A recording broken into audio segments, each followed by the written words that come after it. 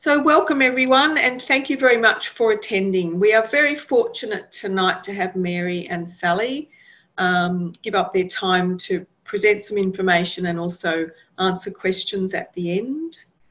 Um, both Mary and Sally are world renowned in this area. As I said, we're very fortunate to have them both um, involved in Pony Club and involved in Australia in this area. So, Mary has a master's degree in special ed and coaching qualifications with BHS, EA, and RDA, and has worked all over the world coaching, eventing para equestrian and RDA riders.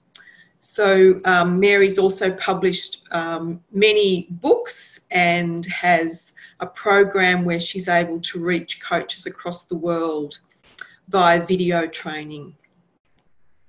And um, the clinics that Mary has run are in countries including Canada, Dubai, England, Hong Kong, Japan, Malaysia, New Zealand, Philippines, Portugal, Singapore, Singapore Taiwan, and the US. So she's certainly um, world renowned for her expertise in this area. Sally will be very well known to um, most of you. Uh, Sally was also the recipient of an Order of Australia medal in 2019 for services to horse sports and to people with a disability. Sally's been a team assistant at five Paralympic Games, the World Para Equestrian Championships, and the World Equestrian Games. And has Sally has coaching accreditations with EA, PCA, and RDA, and is very well integrated in the Pony Club Victoria system and provides lots of assistance in evaluating um, applications for members who are seeking exemptions so that they're able to compete safely and fairly. And we celebrated Sally in 2021 as she was one of the recipients of the PCA Gillian Rolton Award for a Pony Club alumnus. So, thank you very much. And now we will hand over to Sally and Mary. As I said, we'll take questions at the end. Um, the, the question panel is there for you to type in your questions as we go. And as we've publicised before this webinar, we are going to set a quick um, test for people who are participating. And if you are an active Pony Club coach, then you are able to get continuing professional development points to assist with your coach accreditation by both attending the seminar, watching it on YouTube afterwards, and completing the exam. So, without further ado, then we will hand over to Sally and Mary. Thank you. Thank you. Thank you. It's great to be here. And it's great to be able to share our love of coaching and coaching riders of all abilities. So we're often asked, how do we describe someone with a disability? And the first thing are, is that they're a person, they just happen to have a disability. So if you're introduced, somebody doesn't say, oh, she wears glasses, but she's called Susan. So it's just the same thing. Their first is that, that they're a person and then they have the disability or they have special needs. So you never say um, they're a disabled rider. Years ago, the British dresser um, para equestrian dressage team was they were the disabled dressage. And finally, they all made a huge fuss about it and they changed it because it's really it's all about dressage not about disability in the same way that this is about a person not the problems they have. You want to add? No no no just about the special needs. Yes. So they can be varied. Yes. Okay on you. Go yes and why join the pony club well, it is a wonderful youth movement, and it is a youth movement for um, people, riders of all levels. So that's why it's really fantastic that we're able to share uh, knowledge from the RDA field into the Pony Club field. So it is great. Pony Club is always very proud, the individual clubs, of their uniform. Um, and nowadays, with the um, the polo shirts and the um, the jackets that the pony clubs are producing for all riders to feel they belong to this great club that they represent um, at rallies as well as when they're going out competing. So that brings you down to the fun and enjoyment of being a part of a club and that you are accepted by everyone at the club, people of uh, your own age, and then developing friendships with um, people that become your mentors at clubs. And another wonderful thing is that it is such a family oriented um, club where family members are very involved to ensure clubs are running correctly. Um, and it's wonderful then you can really develop lifelong friendships um, from being a member of Pony Club. It's also really important to be able to develop um, horsemanship, horsemastership skills, um, and riding skills to improve your riding to then go on and be able to participate in different competition opportunities uh, involving the different disciplines that Pony Club enables riders to be involved in. Now, this is just a wonderful shot of uh, um, a rider that started off with RDA, uh, developed skills, and then became involved in Pony Club. So that's Sarah, and she belongs to Dalmore. Tooradin Dalmore. Tooradin Dalmore Pony Club, which I'm wearing the jacket of. Because you belong. Yes, because I'm one of the, well, I'm the chief instructor of that club. So I have run for many years integrated camps for teenagers and children, and um, I've always found that if you have two buddies for one rider with a disability, that the two people don't feel that they're going to be left out of something. If you just have one buddy and one rider, then the buddies mightn't be quite so keen.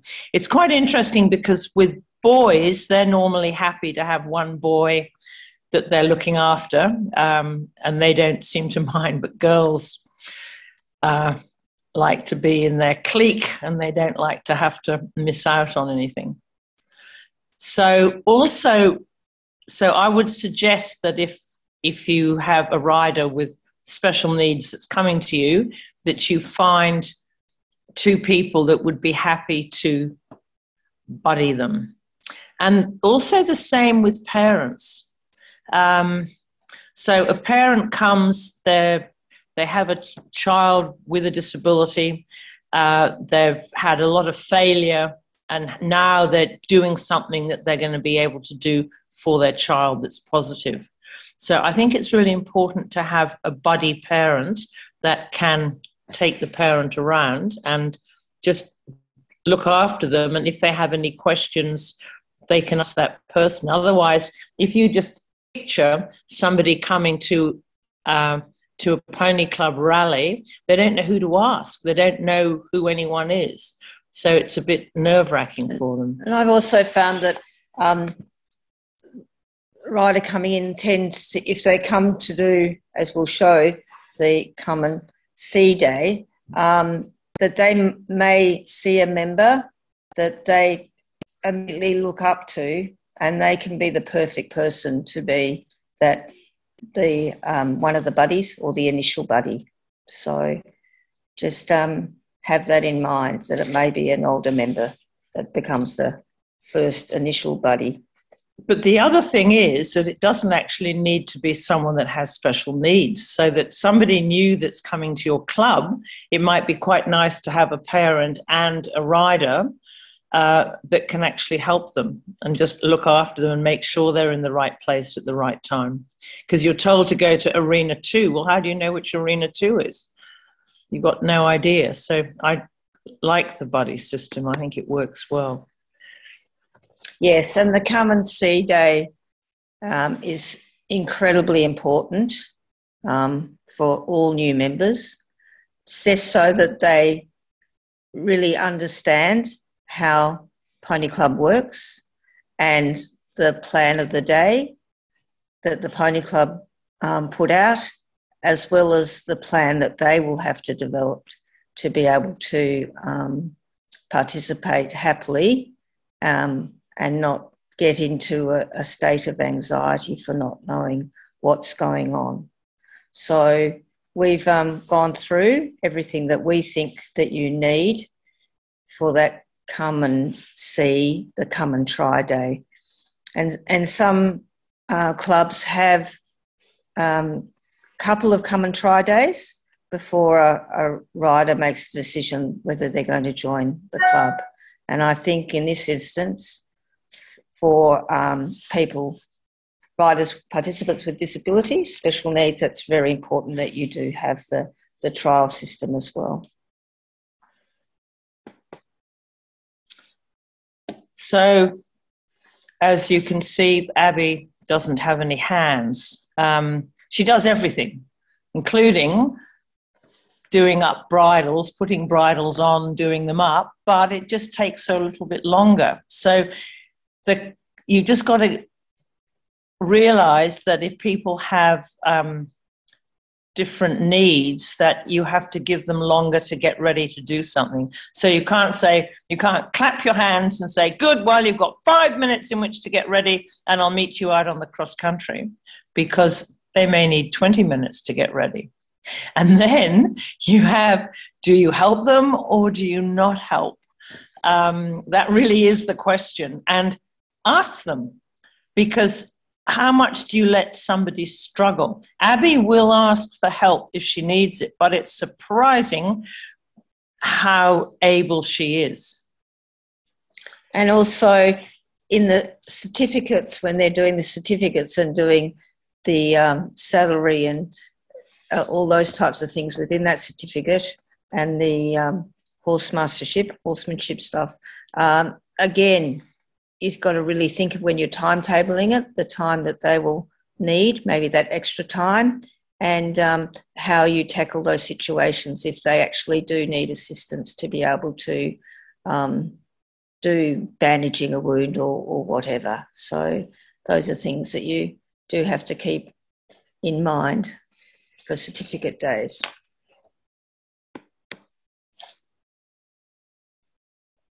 Okay, now both Sally and I find that if you're teaching and you don't have a spotter, you have to be looking at your rider with special needs, which means that you're going to not give the other riders the attention that they also need. So, having a spotter, um, and it could be a parent, uh, or it could be someone who isn't riding on that day for some reason, you need to take them away from their friends. If you're a spotter, you are concentrating on the rider. And the job of the spotter is to be watching to see if your rider gets into any trouble. Or it could be that other horses get too close. Maybe you have a deaf rider and they can't hear horses coming up. Or you have someone that's not very stable. And so then the spotter can have a look when they need to go and help them. And it's actually like team coaching, really. Um, so it's a, a, spotter who's wanting to train to become a coach. It's a wonderful thing for them to do um, because they're a part part of the lesson, seeing how the more experienced coach is uh, running the session, um, and also uh, the coach will discuss t- with them how if situations do come up, safety type situations, how um, they can de- can assist to making sure that um, it gets sorted out quickly and efficiently and safely.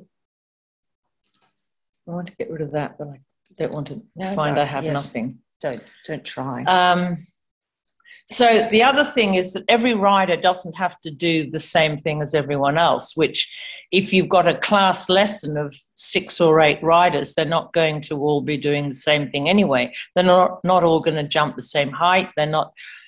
One of the riders might be doing lateral work, and someone else has got a young horse, so they're just going to go on one track. So.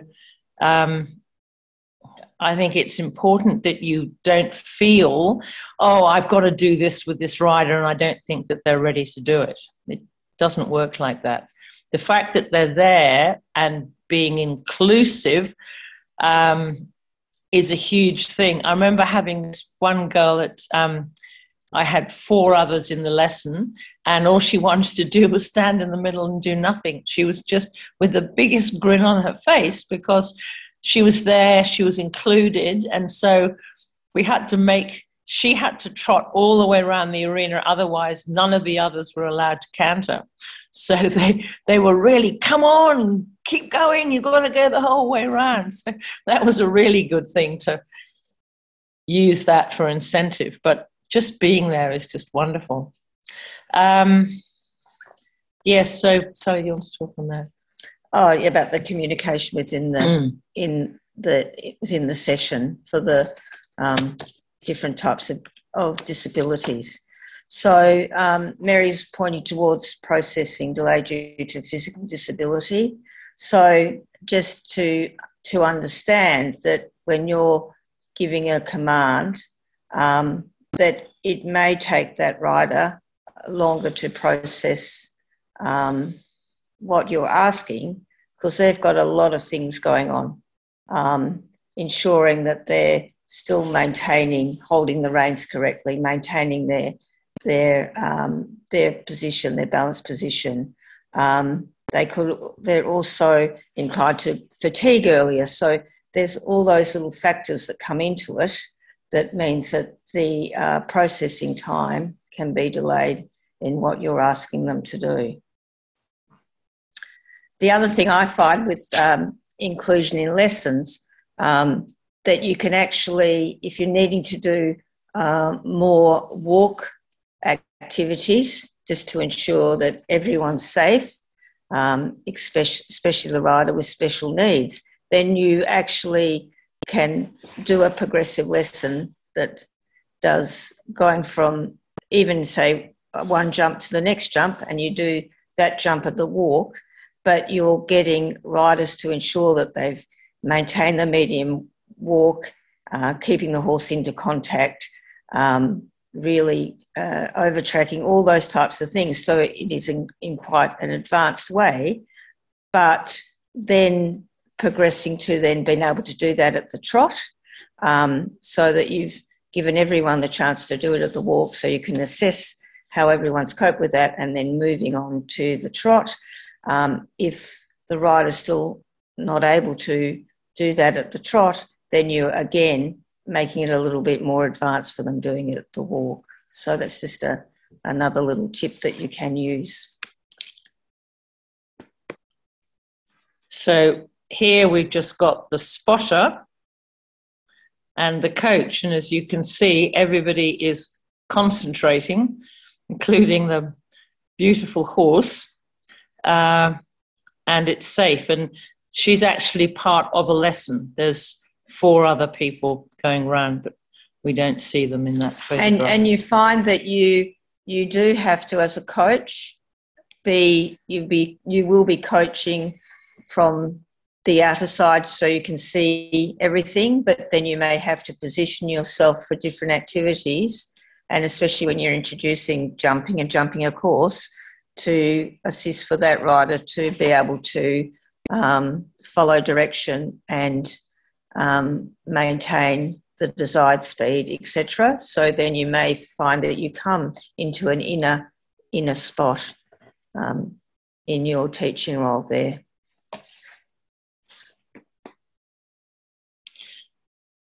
Okay, so Sally and I had a lot of talk about what do we need to talk about with different disabilities? And the answer is everybody is individual. If you know that you're going to have a rider that comes to you with cerebral palsy, then you need to find out what type of cerebral palsy because there are different types. Uh, and how that person functions. So it's really that you're teaching the abilities of the rider rather than getting waylaid by the disabilities. So if somebody can't hold the reins uh, without dropping them, then you're going to have a look at what can you do to help them. But the only one that I, I really want to talk about is the um, is the people that are on the autistic spectrum disorder. So we have a lot of in every classroom, there's probably at least one or two or three children that are on the spectrum. And when they come in and ride, you don't, they look perfectly normal uh, until they can be over emotional, uh, disruptive, all kinds of things that but the main thing that i find that's the base of the problem so what i look at is what's the result? This rider's getting very upset about something so then you want to find out the cause. So if you're speaking to somebody with autism they can be very literal in their language. So we use the word rain quite a lot so we say, Is it raining? Hold the reins. They may be keen on kings and queens, so they all know about the other kind of rain. So um, if you, I'll just give you one example, which is if you said to your rider, I would like you to shorten your reins, this is how the rider might interpret it. They're never going to actually get to shortening the reins. So, first of all, I. So I is an I. It's not you or me, it's an I. Then you have a piece of wood.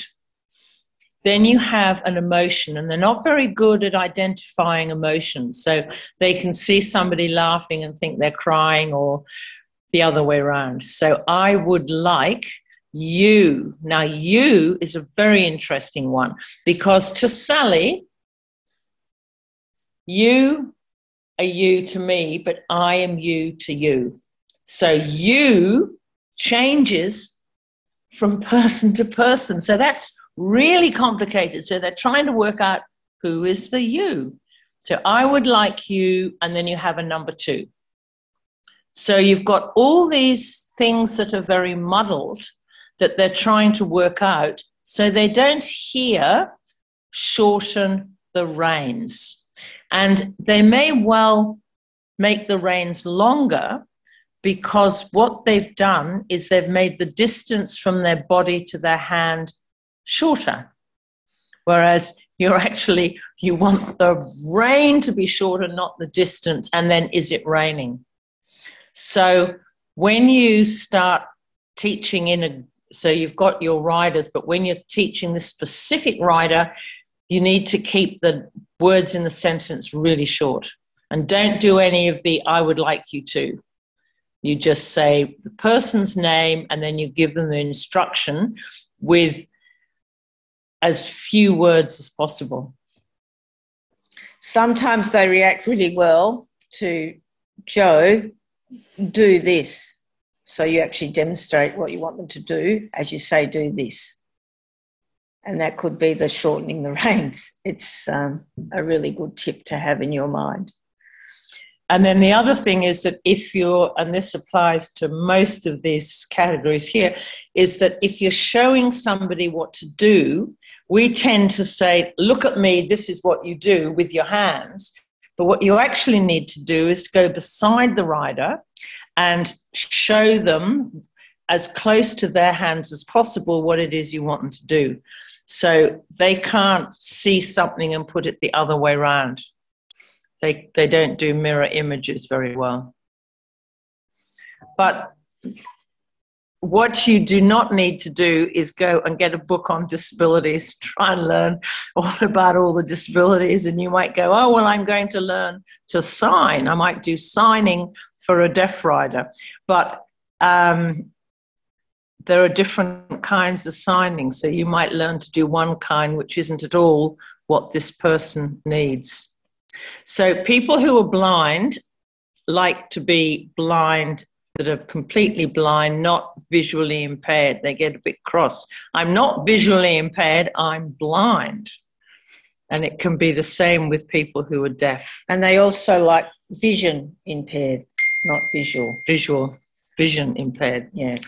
Okay, my mistake there. Oh, sorry, yes. Um, now, if somebody has epilepsy, and there are various forms of it, uh, the pony club should know about it and the coach should know about it and there should be a parent there and there needs to be so you, if this person has an episode then you're going to follow you you know exactly what you're going to do so people can event they can do all kinds of things if they were going to be eventing and going cross country then the doctor that's in charge of the cross country should also know. So that's just a thing. But it's interesting with epilepsy because um, nobody knows am I epileptic? Is Sally epileptic? No, we, neither of us are. But if we were, would we have to disclose it? So there are some things that, but as a child in Pony Club, that would need to be disclosed. Yeah. And the other thing, intellectual disability, I think Pony Club is a, a wonderful uh, place for, for those riders that are wanting a pathway to Special Olympics with their um, equestrian endeavours. Uh, and there's also a new um, um, organisation called Virtus, which is a parallel uh, competition platform for people with intellectual disabilities to the Paralympics. Um, and Mary's very involved with getting that started here in Australia. And that's good because the Special Olympics is more of a come and have a go, and Virtus is equal to the Paralympics, which is equal to the Olympics. So you only have one winner, whereas in Special Olympics, you can have lots of winners because people are graded according to their ability. So if people are interested in that and they've got riders, then we can Let certainly help you. Yeah. Yes. So teaching, keep teaching simple. Uh, so the terminology that we use with horses is really quite interesting. I remember in the Pony Club in England years ago, I had no idea what we were going to do. We were told that we were going to go to the Menage to do dressage. and we thought we were going cross country. We had never heard of any of those words before.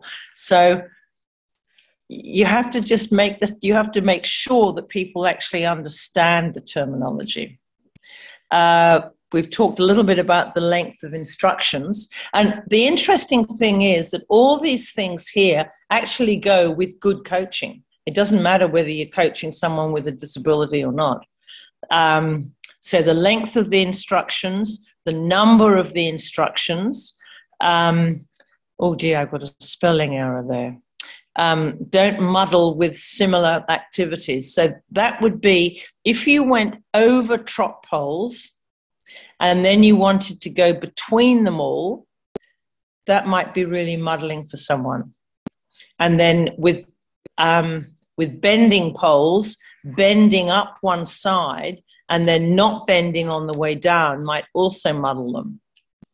And there's also one in show jumping too, when you're building the course, that don't have blue and light blue and royal blue, navy blue jumps all in an area together, you have to have distinct different colours so that a, ride, when you say go to the blue one, and there's different shades of blue, that makes it very tricky. So you need to have your red and your blue and your orange and your green So it, it is easier for the, um, the, the rider to know where jump one, two, three, four, five, six, seven, eight is.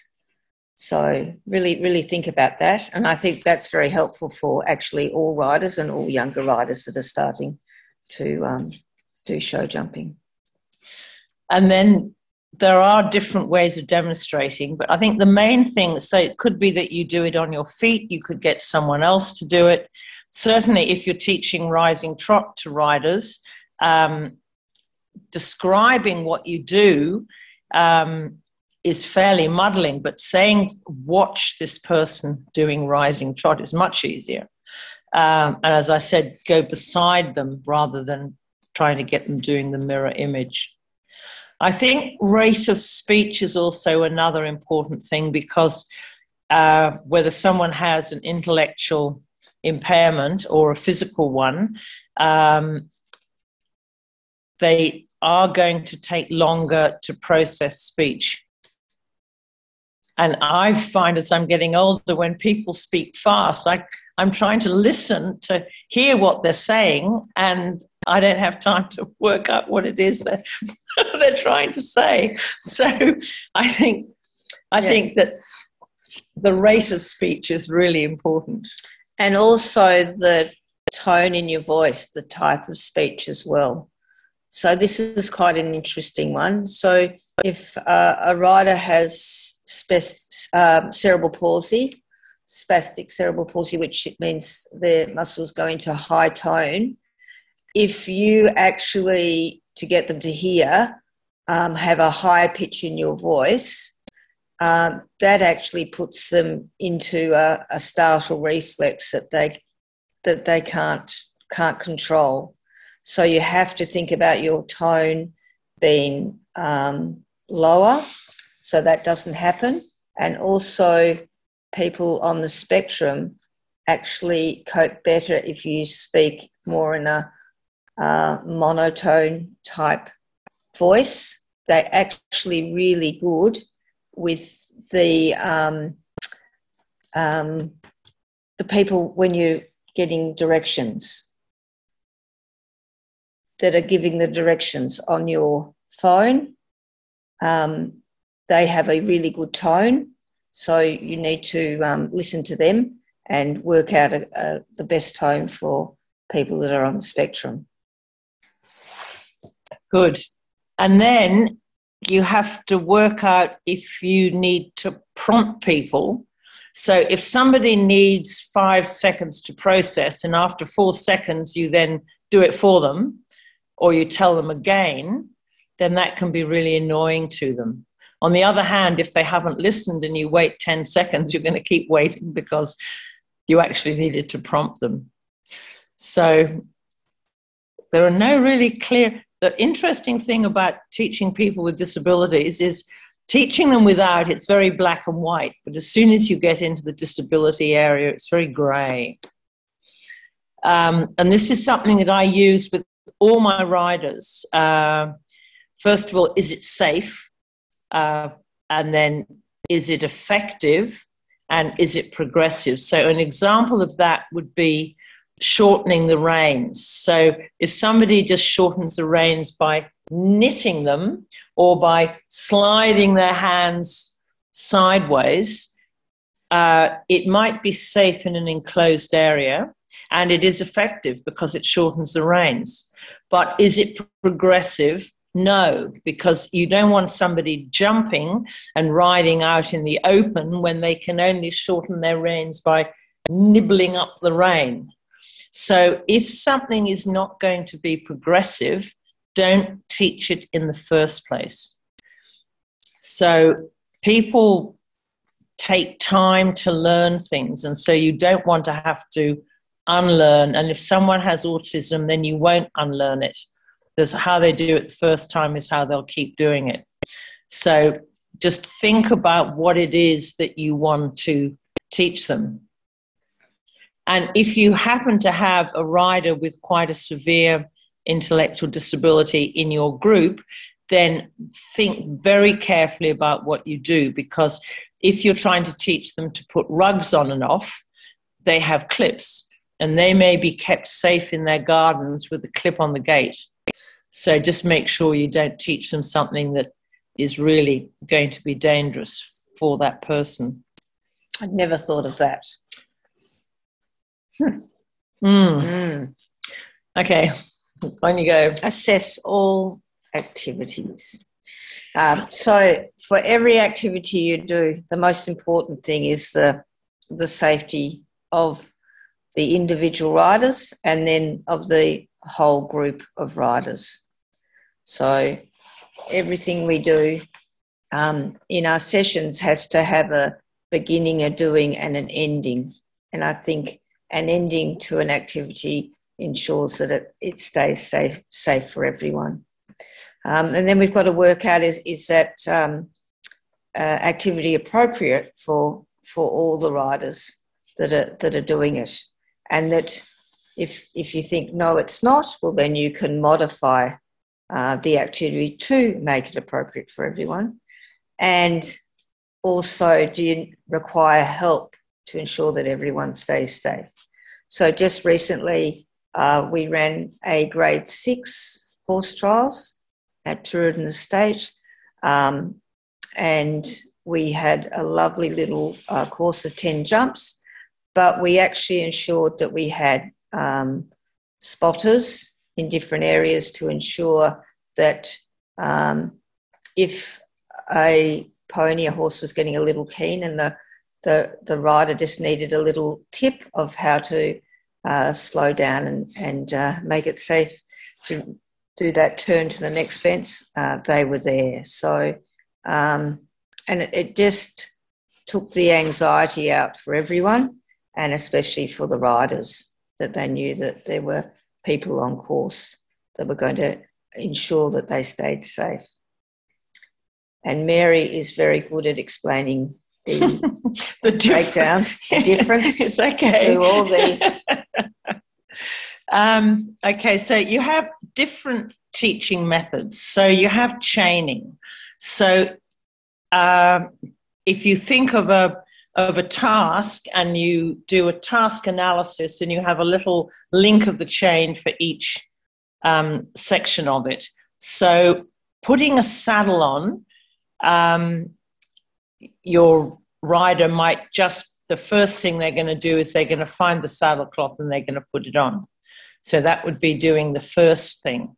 The last thing that they're going to do is do the second girth up, the second buckle on the near side up. So if you were going to do reverse chaining, you would start with, you would do everything and they would just do the last buckle. Then, so the thing about the forward chaining is that they're then going to learn the whole exercise. But the problem is that if they do the first thing and then you do everything else, then they stand back feeling that they're a failure.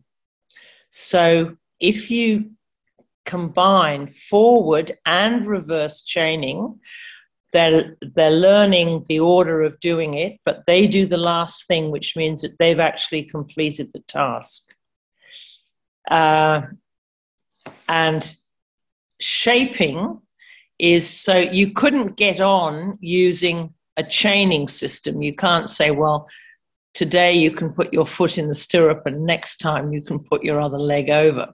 So you actually do you do the whole thing and then you gradually do it better like it could be sit more gently then you also you do the whole task and then you see that there's a bit that isn't very good like standing on one leg so they've got to stand on their right leg while they put their left foot in the stirrup so then you would practice that uh, and then you can put it back into the whole task again and see if they can get on more easily.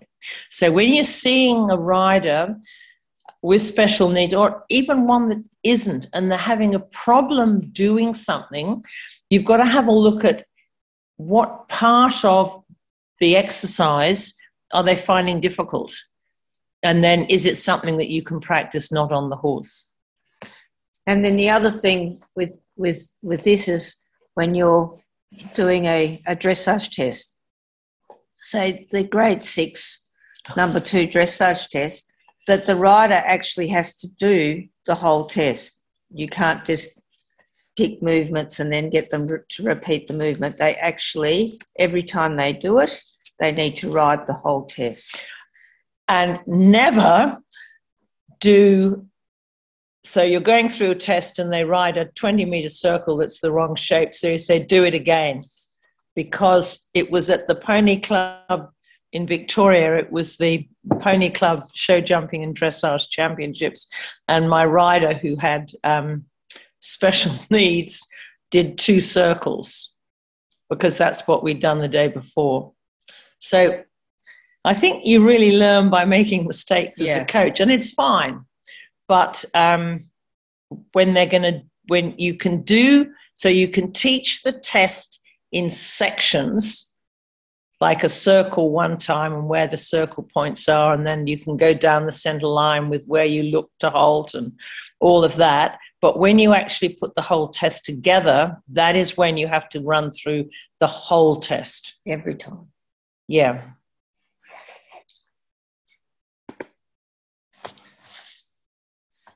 Okay, so it may be that you have your rider that only walks and trots, and so then they can have a shorter lesson.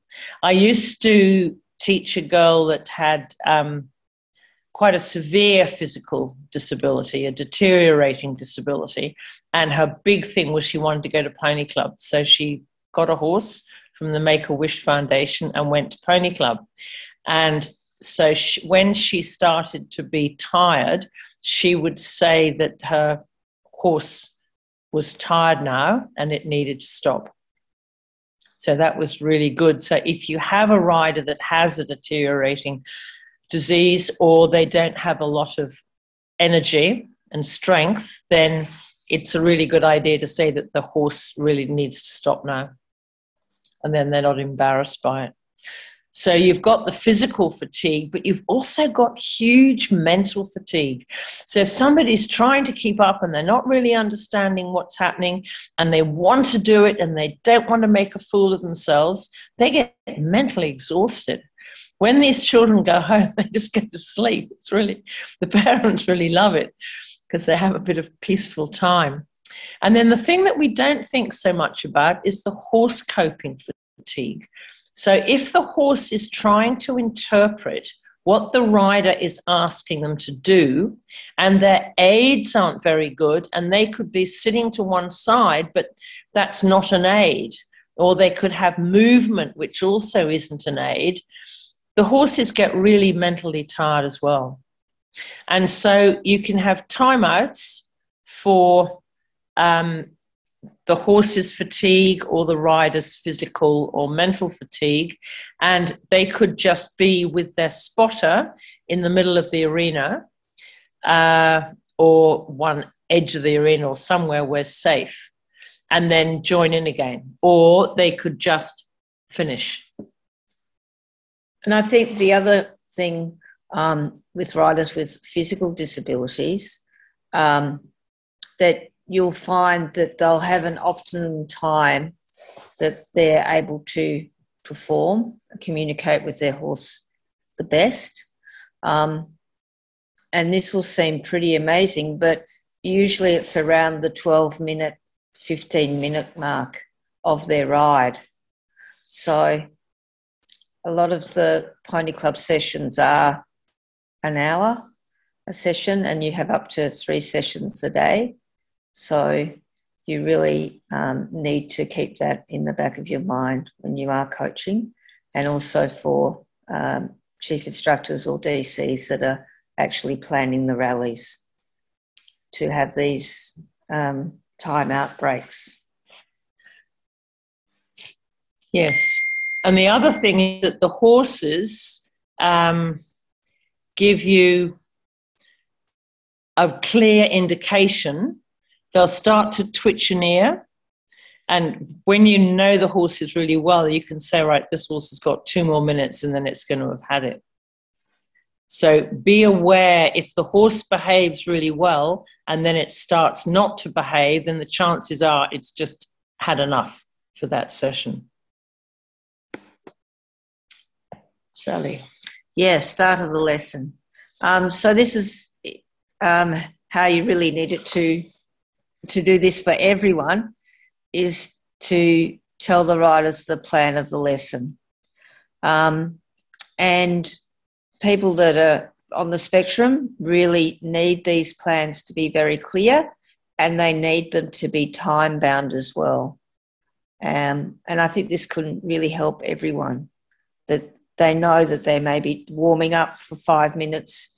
Um, we're going to learn, learn this task of sitting on the correct diagonal um, for 10 minutes so that you actually break it down like that um, and move from one task to the other smoothly.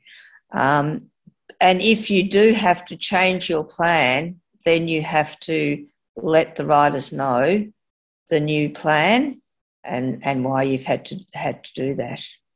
So that's just again moving to the next one that that you you are making rules and they are very clear. Um, and everyone that's involved and the spotter as well needs to understand those rules and the plan that you that you're making.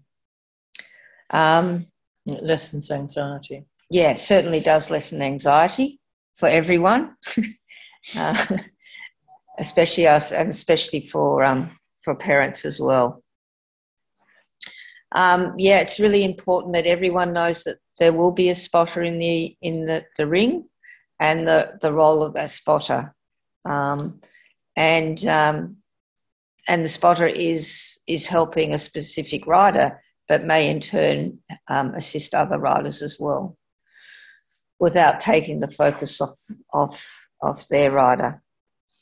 Um, and I think this is a really important one to tell the riders that they do have an option to participate in in that um, activity or not to participate in that activity. So, and I think yeah, a big one we put there was cantering. So, if the other riders are doing cantering, well, they will do um, that same figure that they're riding or activity they're riding, but they'll they'll do it um, at the trot um, you may make it a little bit tricky. They may be doing a little bit of sitting trot in that activity, or they may be doing some trotting in two point position to um, in, show that they are doing the task in a, in a more advanced way, but not having to, to canter.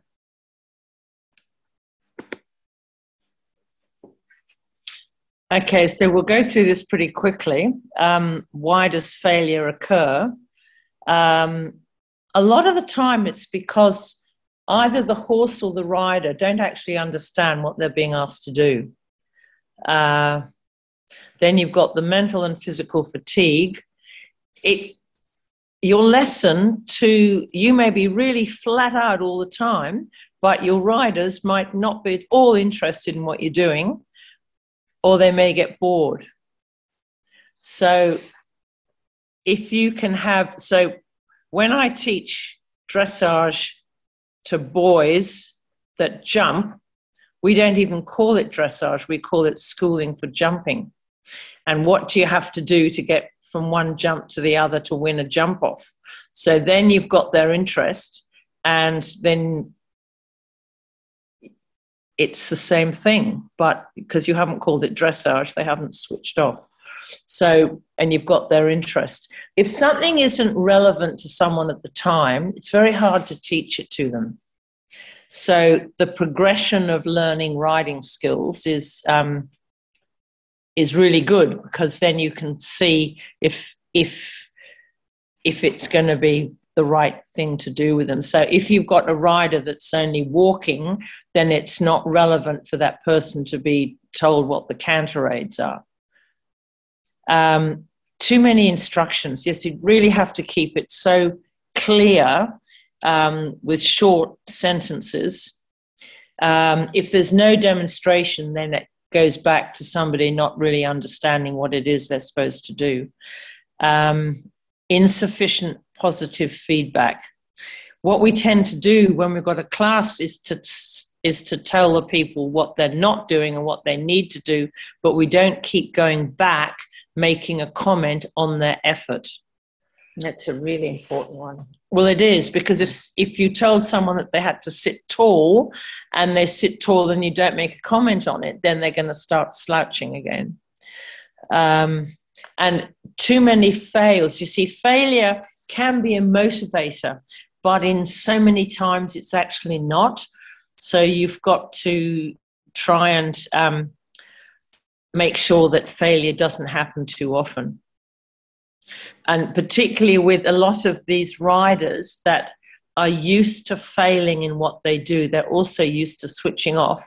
And several times I've taught people that I've just done too much. I should have stopped um, too much with them, and they literally stop in the middle of the arena and they close their eyes. And that's it. I go, done it again. Mm. Because in your enthusiasm for what somebody can do, and you could say, do it one more time.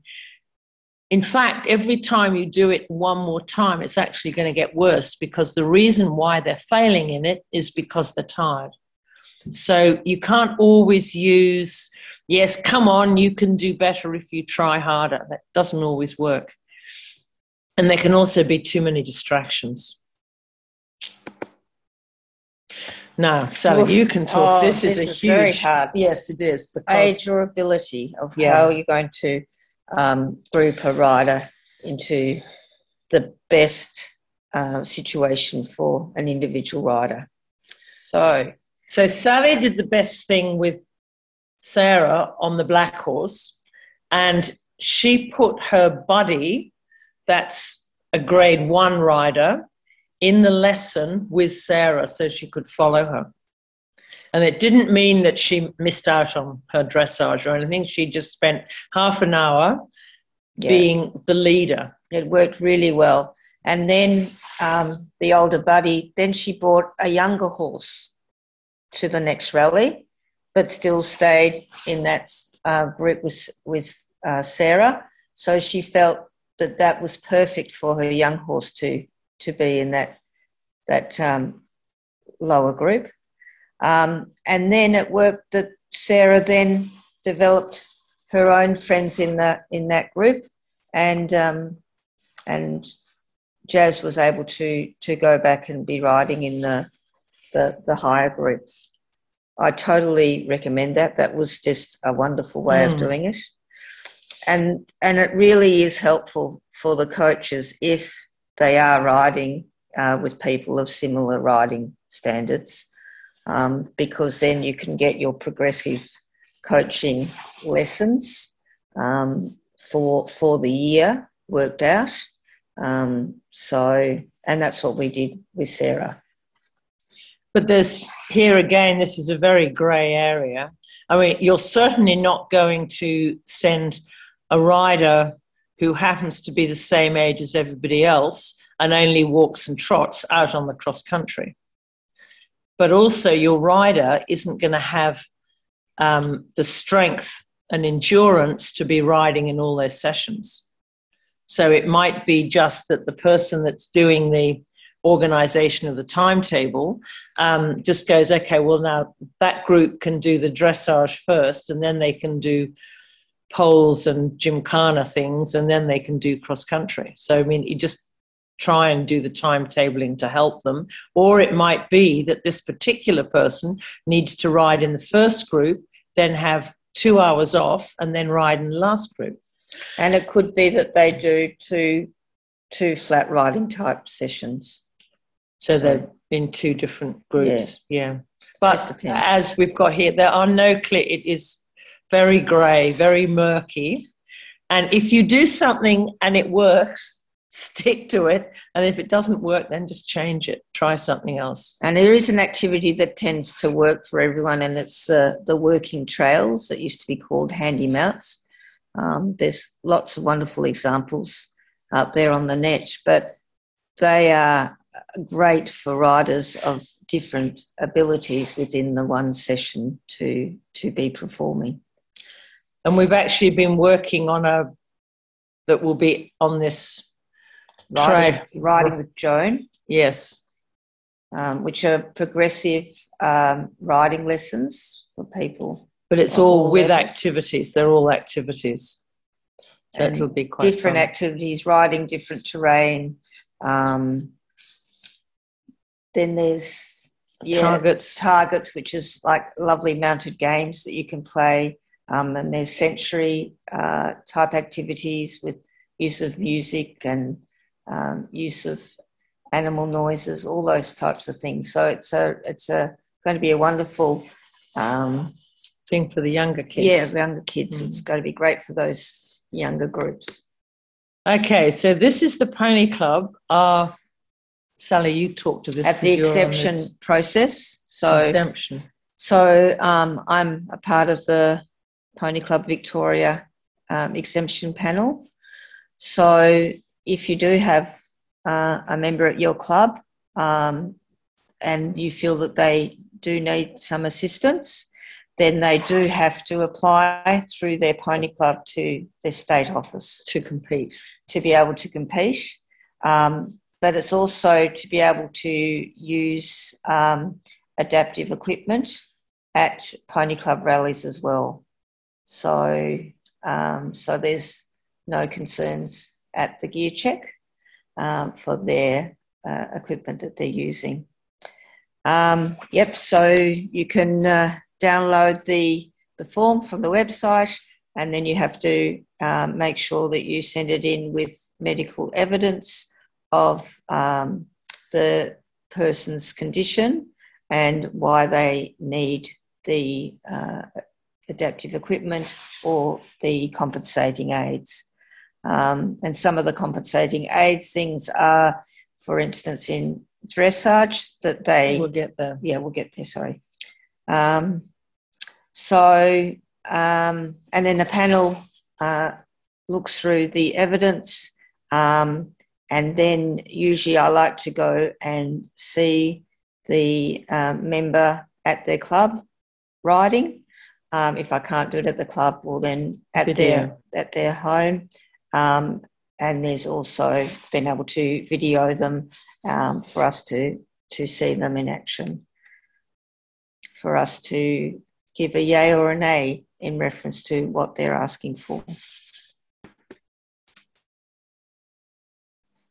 So this is just a picture of Joshua, who's now ready for Pony Club.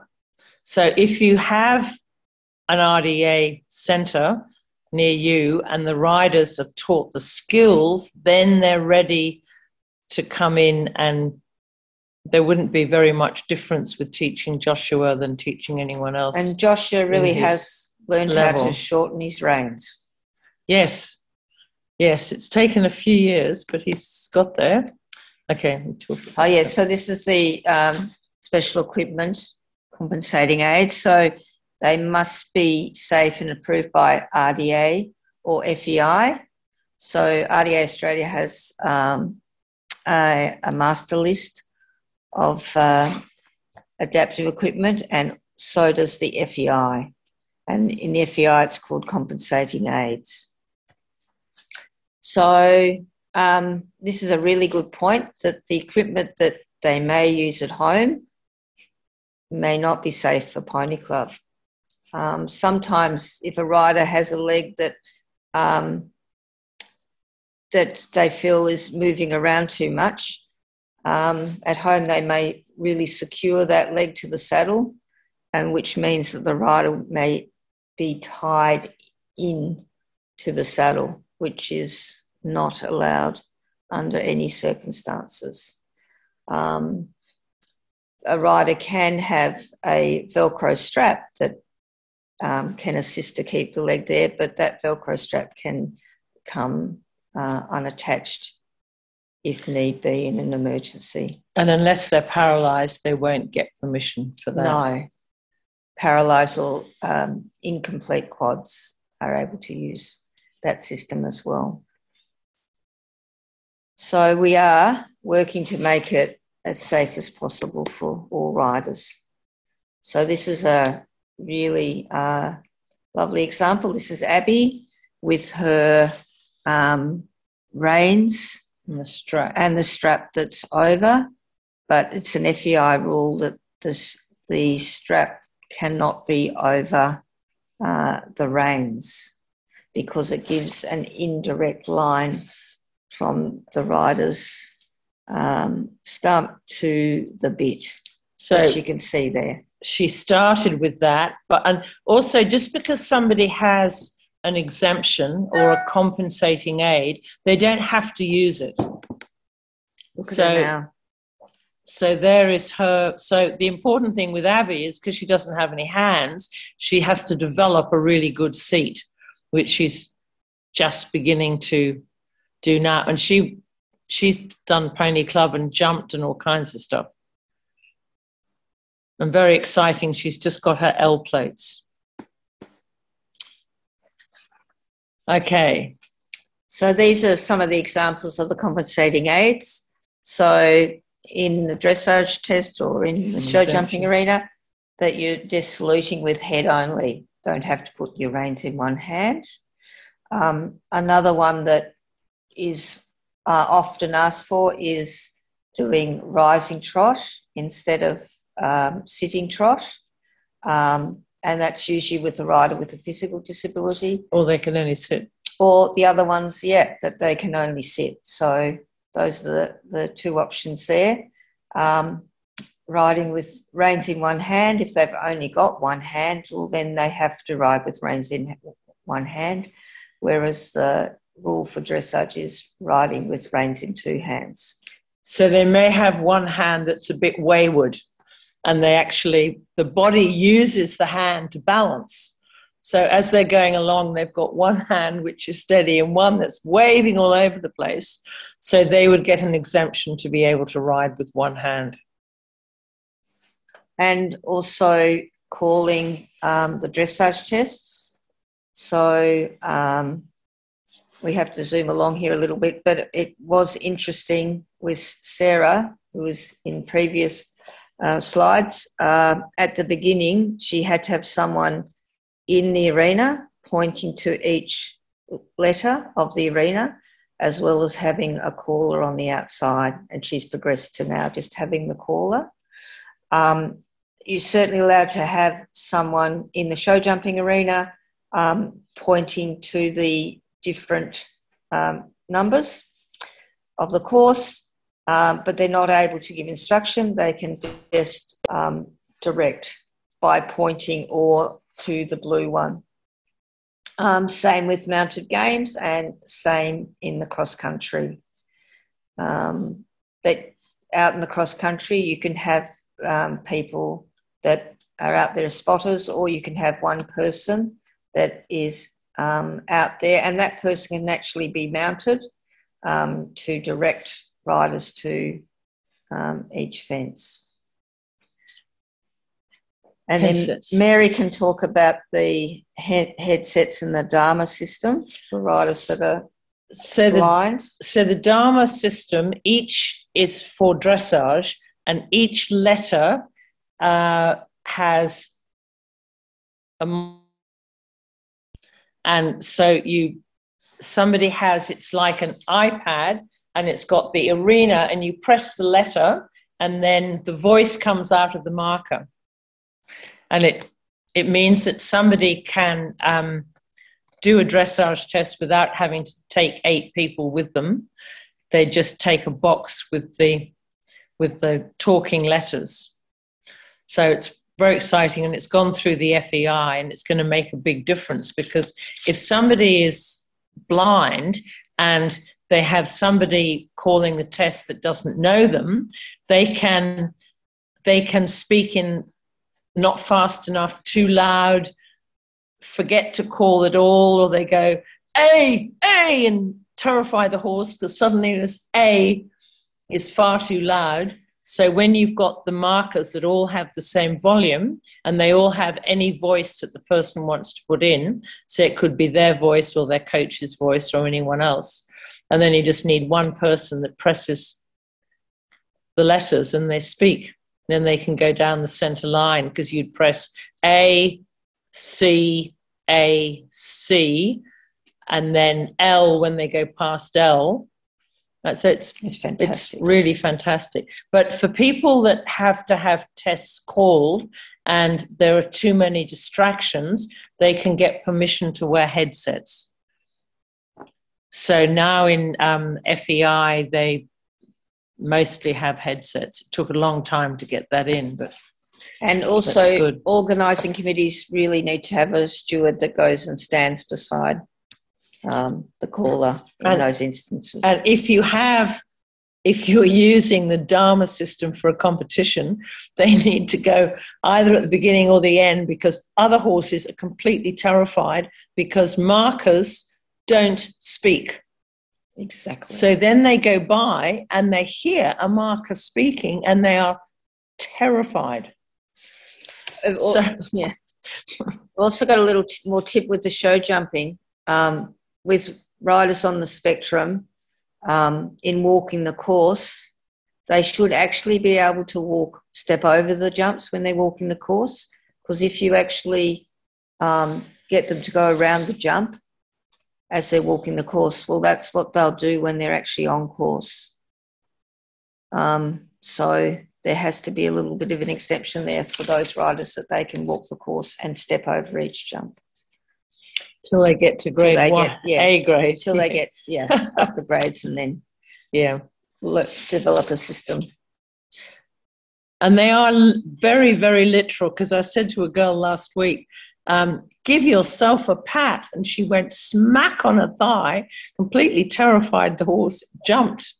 And of course, it was entirely my fault for not thinking about it. Okay, so here are examples of special equipment. Sally, you go. Yeah, so um, a really good one is um, the elastic inserts in the reins.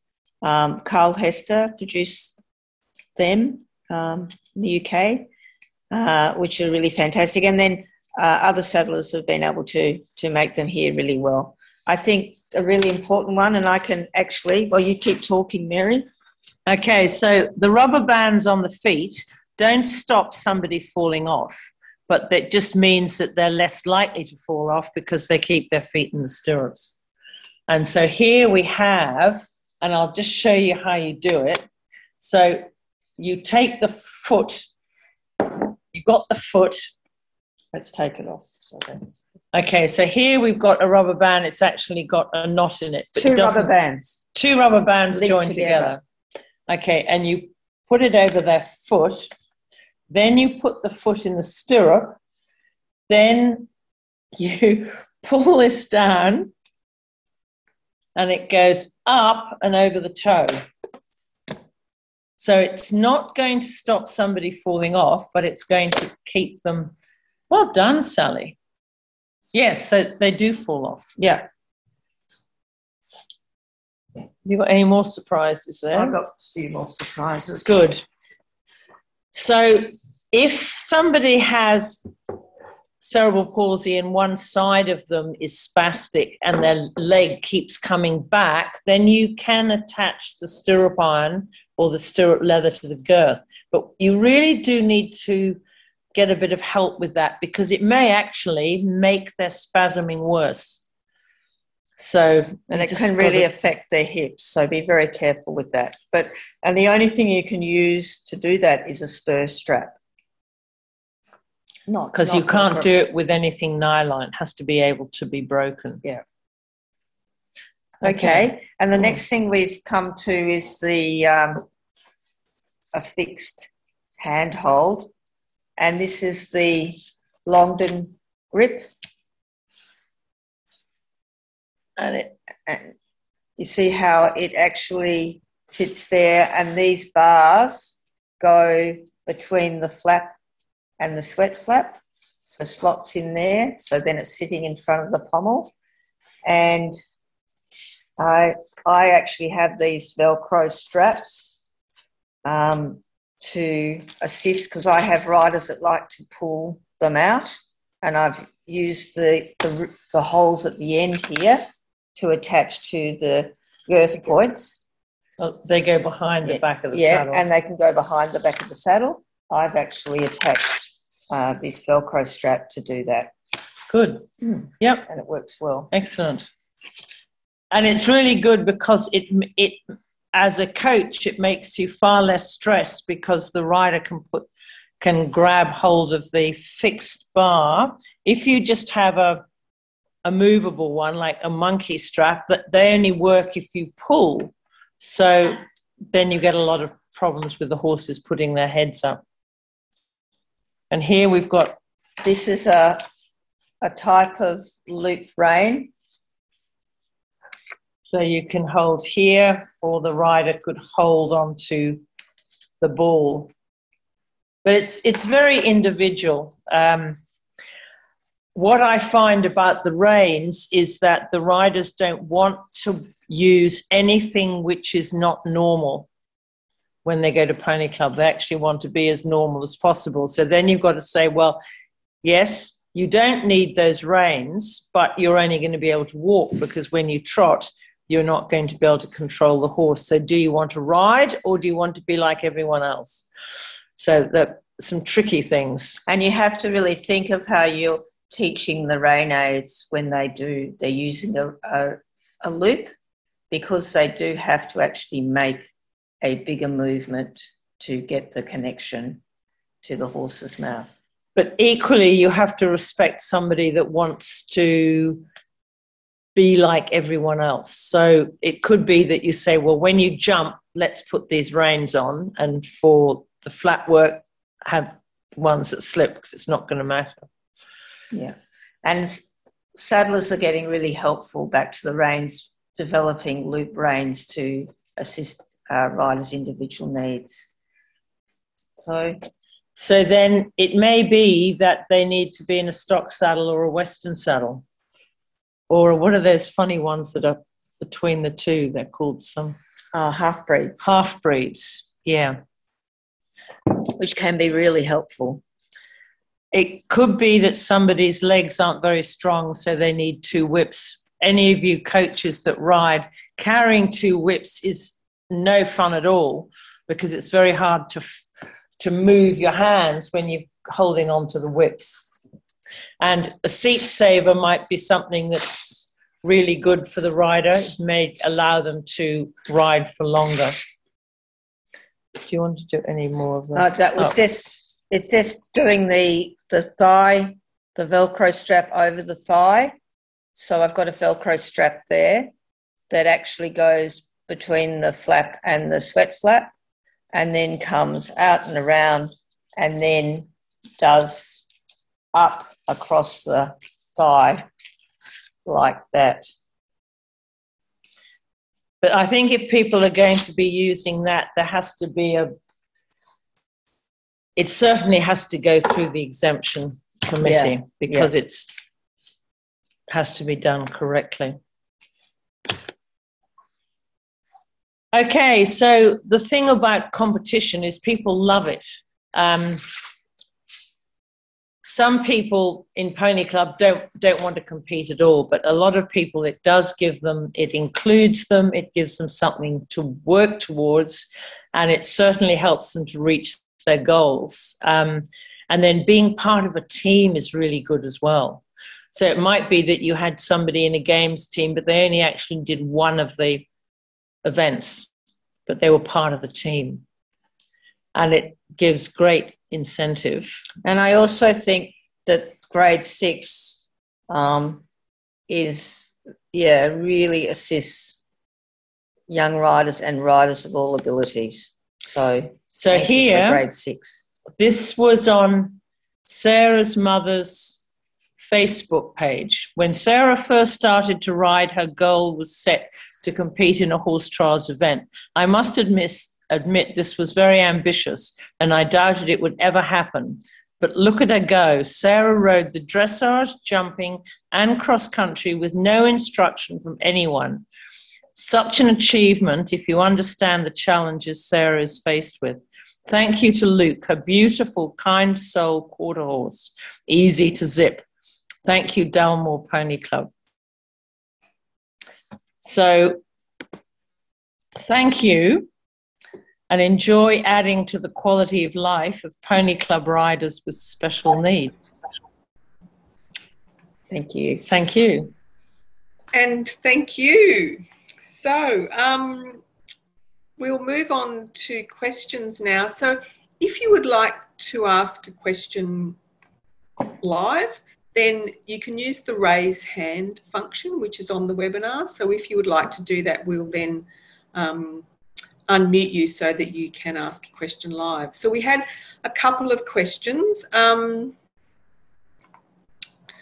uh, what's the best way to let a judge know at a competition about a rider with special needs? So I think there you saw that um, Mary and Sally spoke about the exemption process and the recording of that exemption on the member's profile. So we've developed up a national form that all states will be using, and so that will enable a exemption to be put on the rider's profile, and that will be then um, visible to uh, someone at a competition or by them carrying a card. I'm not sure if there's something well, else, Mary and Sally, that you would like to say there. Yeah, that, well, it's a part of their their grading card in Victoria, yeah. so it's it's on that. Um, and you've just got to make sure the organising committee um, has a copy of that, um, and then the organising committee to inform uh, the judges uh, of uh, that that rider's um, exemptions. And it also another area that sometimes gets missed is at the gear check. Um, also, the gear check needs to have that as well. Thank you. Uh, the next question, does a rider have to um, ride HC at a competition if you're calling a show jumping or cross country course? No, no, that's what the exemption is about. It's an exemption to the existing rules for that rider to be able to complete, compete on a level playing field with all other riders. Right, thank you. Uh, do you have a photo of a fixed pommel bar? Is that the Longden grip? Well, the yes. Longden grip. That's named after you, Mary? Yes. Yes. Is that the fixed pommel bar? Yep, she has a grip on us all. I don't think I've got the thing. I don't know where it got is. It. No, I can look. I'll. I should have brought a saddle, but that it does it. It becomes very fixed um, when it's placed under the saddle, and you can use the little ring hole at the end there as well, and then you can tie something to that to tie to the back of the saddle. I've also done the Velcro hmm. strap that can come round. And if you look at all the Paralympic riders, you'll see some in the grade one with, with it on. So it's, it's excellent for young horses too, because it means that when they go into canter, you don't have to be scared. You just put your hand on the bar, and then the horses don't buck because you haven't pulled the reins. So there are lots of uses for it. Helpful for stabilizing the outside rein. Mm. So, you know, it's, yeah, it's a very good tool. Uh, the next one's about a specific case about a specific rider, so we might skip that one just at the moment. Um, but Kintara, if you wouldn't mind writing down there what state you're from, that might be helpful. So we'll move on to the next one. Um, is there assistance or training for judges when it comes to judging a rider with special needs? Oh. oh. Are you judging the horse or are you judging the hmm. rider? when I judged when I judged at the Paralympics, this friend of mine who judged at the previous one said to me, a word of advice don't look at their faces, only look at the horse. Because then you're not, you don't look and go, oh, isn't that a cute face? Oh, you know, they're trying so hard to get the horse to trot. it's supposed to be cantering or something. And so then that stuffs your marking up. So you judge them perfectly normally. Like you judge everyone else. Yeah. So at the lower levels um, in Pony Club, it's a lot about are they going at the correct speed or tempo and are the circles round and are they accurate? So it's exactly the same for having a rider with a disability. And all judges need to know is what's on the exemption card. But it doesn't change your judging in any way. Mm-hmm. Thank you. Um, the next one is uh, from Siobhan, who knows you, Sally. Sorry, Hi, Siobhan. questions are moving. um, and it's about coaching of deaf riders. Um, I'm currently coaching a client with a cochlear implant, and I use a microphone pen around my neck. Mm-hmm. I'm wanting to learn more ASL, um, but it's hard to find horse specific signs. Is there anywhere that I could find that, or could I? Do I have to make them up? So horse specific signs. Mm-hmm. RDA has a um, a booklet which has more equestrian or specific stuff. Yeah, it's the Makaton system. Um, so that they that can be purchased from RDA Australia. Um, I think I think the best thing is for her to talk to this rider and say, "Are we going to? Does that mean trot? Does that mean stop? Uh, can you see that? Is that canter?"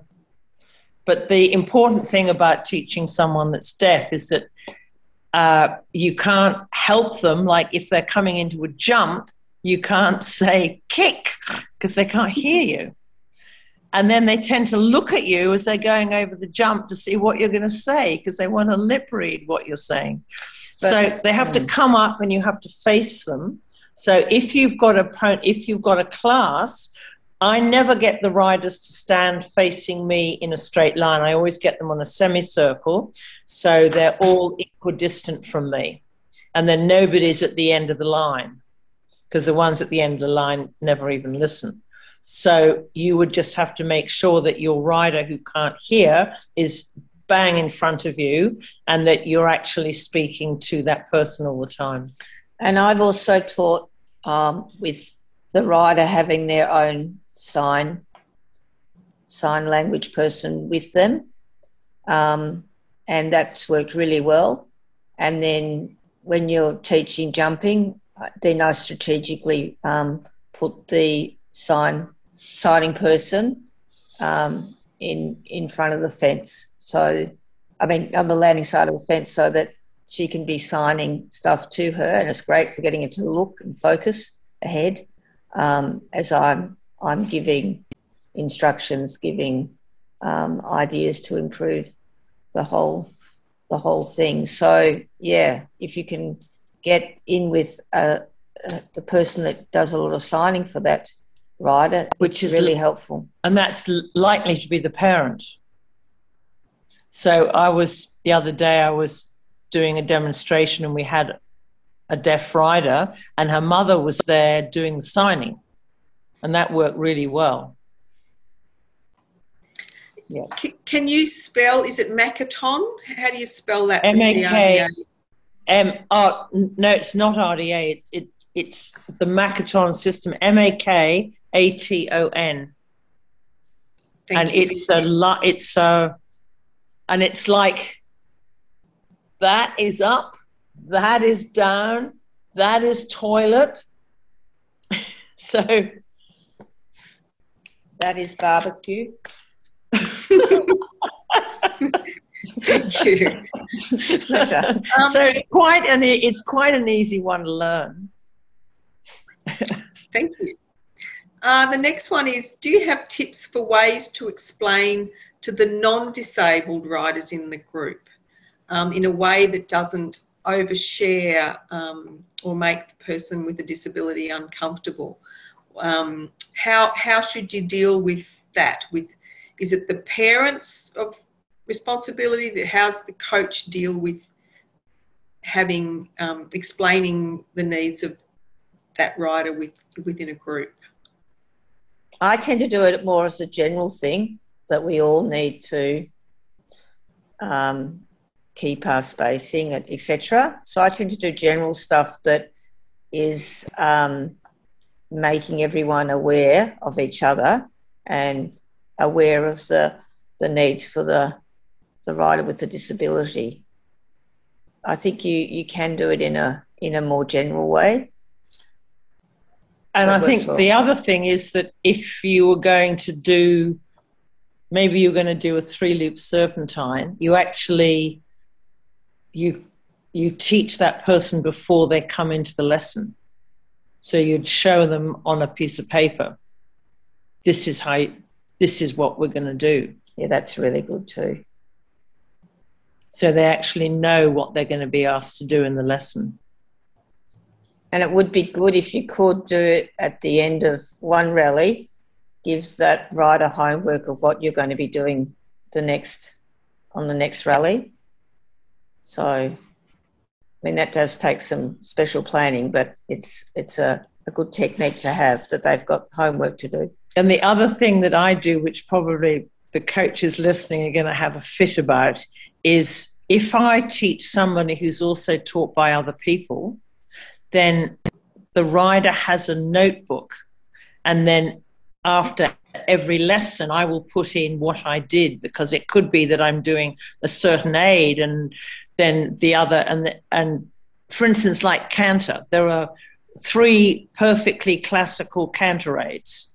So you might teach one and I might teach another one, and then the rider's muddled. So you just say cantered with this aid or worked on something. So that can be helpful as well. But the coaches might like to do that. This, this one follows on a, a bit from the teaching a group. How do you go about talking to the other riders who was uh, who may ask, well, why is that rider doing something different to the rest of us? Because I said so. because they tire easily. You mm-hmm. and I would actually talk to the parent. What would you like? That's a really good question to ask.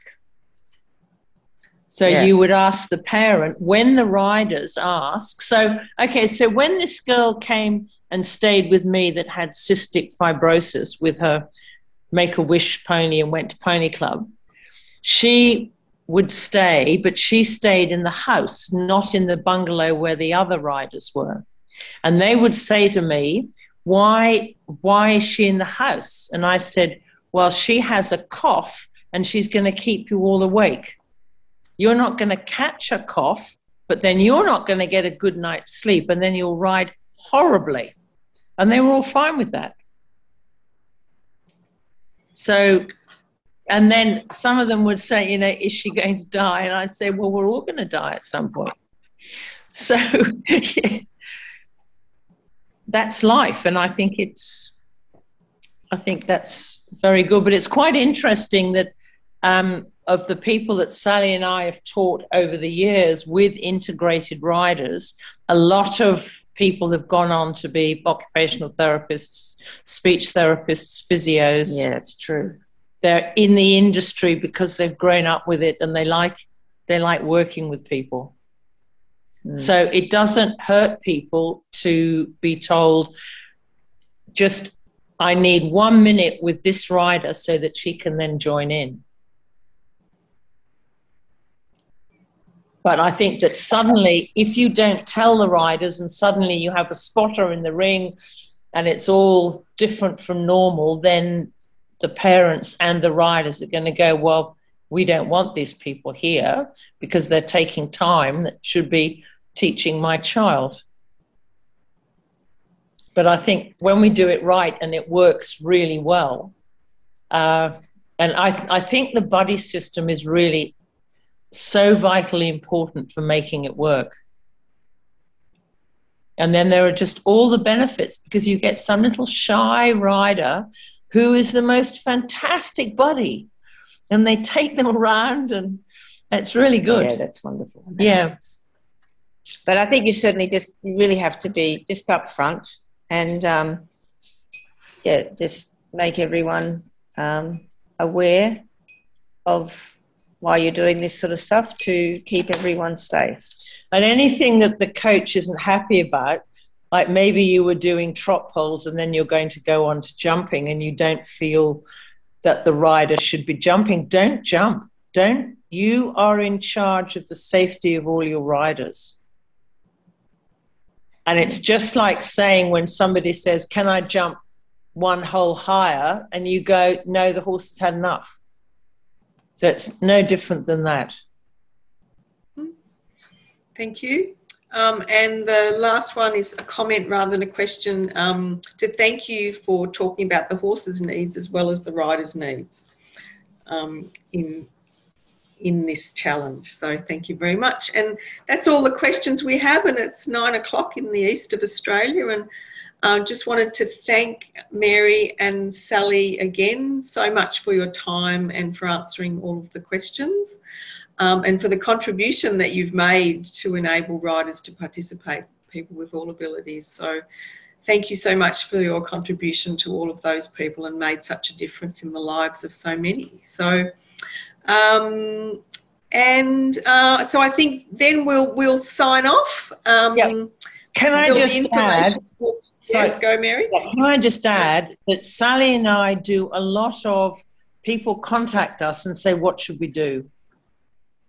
Mm-hmm. So I think that the Pony Club should have a panel of people like Sally that you can send a video and then she can comment on it.